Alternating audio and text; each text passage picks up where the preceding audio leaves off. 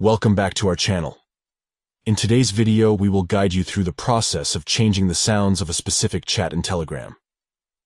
If you're looking to personalize your Telegram experience by customizing the notification sounds for a particular chat, you're in the right place. Let's dive into the full guide. Step 1. Open Telegram. Look for the familiar blue and white circle icon with a paper airplane inside. Tap on it to launch the Telegram app. Step 2. Go to the chat you want to modify. Find the chat you wish to disable sounds for, and tap on it to open it. This will take you to the chat's conversation screen. Step 3. Tap on the three dots. Look for the three dots symbol located in the top right corner of the screen.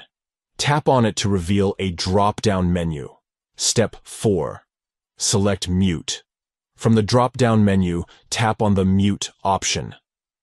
This will open an additional menu for further customization. Step 5. Tap on Customize. In the additional menu, tap on the Customize option. This will redirect you to the Custom Notifications menu. Step 6. Go to the General section. Within the Custom Notifications menu, locate the General section. This is where you can customize various aspects of the chat's notification settings. Step 7. Modify the sound.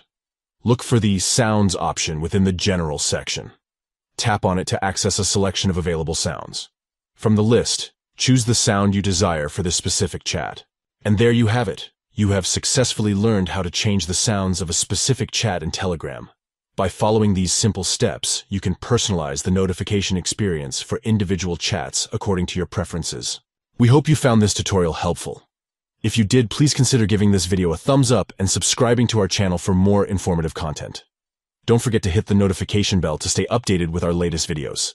If you have any questions or need further assistance, please don't hesitate to leave a comment below. We're here to help you out. Thank you for watching, and we'll see you in the next video.